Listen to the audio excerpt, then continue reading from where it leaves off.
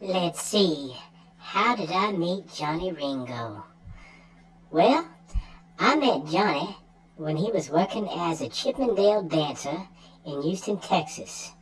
He was only working there part time while he was going through astronaut astronaut training in NASA.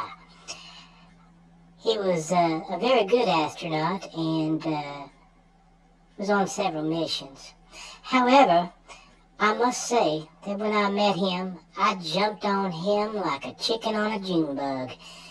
He was a gorgeous man, and he was very intelligent and could talk about all sorts of subjects, like guns and different kinds of hard liquor, what prison was like. And he got a lot of information from the voices in his head, which I found very attractive and uh, arousing, you might say. Uh, plus, he had very nice buttocks. Uh, how I did I uh, meet Johnny Ringo?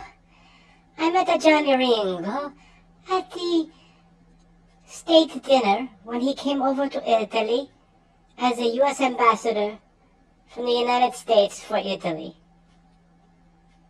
After the dinner, he and I took long romantic walks together, talking about vegetables, corn and peas, and many other vegetables.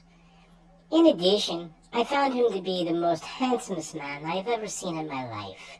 He's a, such a pretty man. Mamma mia, Papa Pia, I want my Johnny Ringa. He's a very nice man, very intelligent, handsome, and has very nice buttocks. But that is how I met Johnny Ringo. It is a true I was a Johnny Ringo's a lover for three years. I was his mistress. We used to live in a villa down by the ocean, and we were also very happy.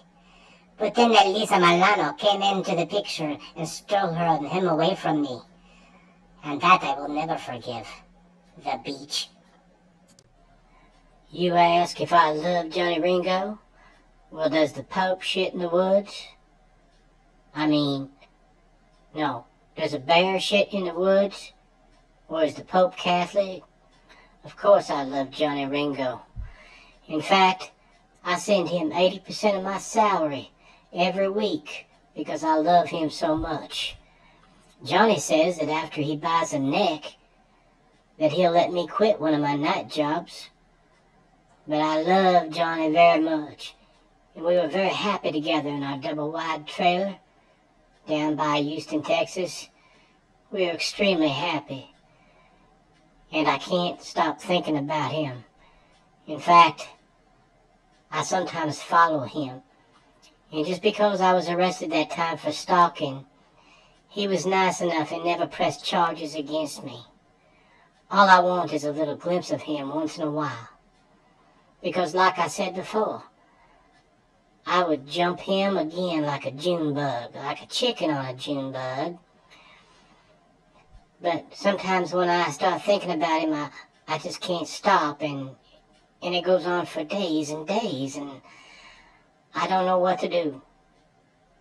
I love you, Johnny Ringo. You'll ask me if I love a Johnny Ringo? Let me ask you. Is he very Catholic? Of course I love my Johnny Ringo. I love him forever. In fact, he ships his dirty clothes to Italy and I wash them for him and send them back. That's how much I love my Johnny Ringo. I want him to move to Italy, but there's something with a problem with him and the authorities here in Italy. Beach. But I love my Johnny Ringo. When I think about that beefcake, I go, hey, Chihuahua! I just can't stop thinking about him. I think about him night and day. I think about him when I eat, when I sleep, when I brush my teeth, which I have a lot of. I love my Johnny Ringo forever and ever. Come back to me, Johnny Ringo. Come back to me.